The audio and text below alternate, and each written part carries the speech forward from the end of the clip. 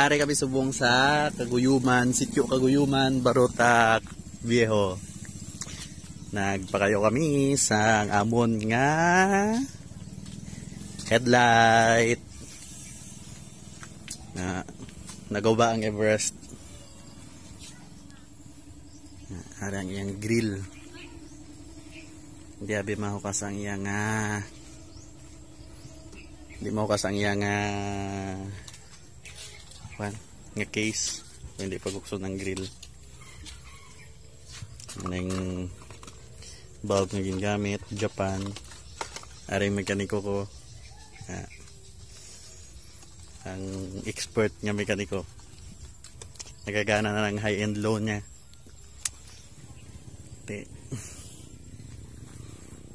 Ano pa Bali, ang problema na lang sang Everest is ang alignment sang guma sa pakuna. Ang bearing sang iyang uh, adjuster, ang gasket sang iyang uh, cylinder head na yun, ah. Tapos, ang uh, power steering fluid, mga brake fluid, kag ano pa dyan ay ang isa ka fluid? Power steering brake fluid. Ano pa isa? Daw tatlo na di fluid. Na na mo? Ha? Ano na? Ang sa power steering na gani tapos ang sa brake fluid. Ah clutch no? Ano ganyan sa clutch? Ah oh clutch fluid. Wala siya ha tapos ipa-engine wash ko ni kung may time.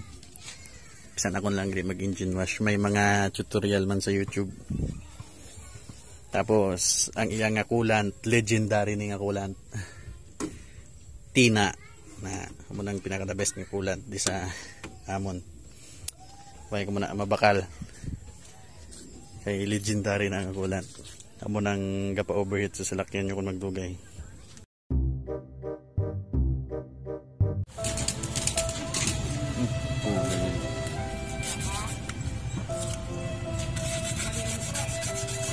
May gold. May bronze na gali ewan yan nandito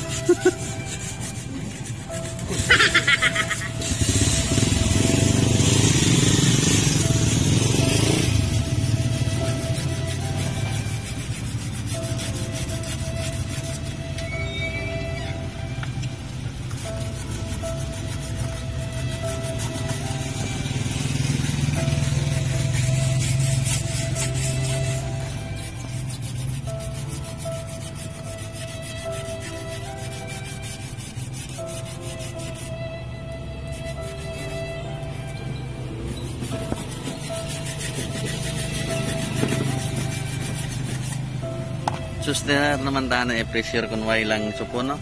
May supon giguro, no? Oo. Sa supon na. Sa supon ni na supon.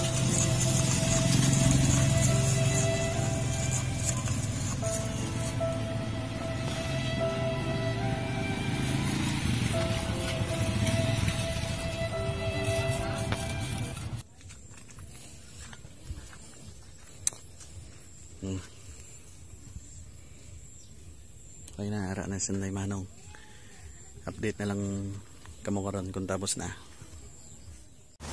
Ari na ang finished product kagayna sa pagpa-change sang bulb sang headlight. Okay na ang service ni Madam Jury. Wala na problema kung gabi. Mm, okay na siya. Eh, thank you again kay Nong Nonoy sa pagkayo. Shout out. Shout out kay Nong Nonoy. Naka-selfie na si Madam. Mapuli na kami. Ne, babay na sa vlog ta. Puli na kami. Mm.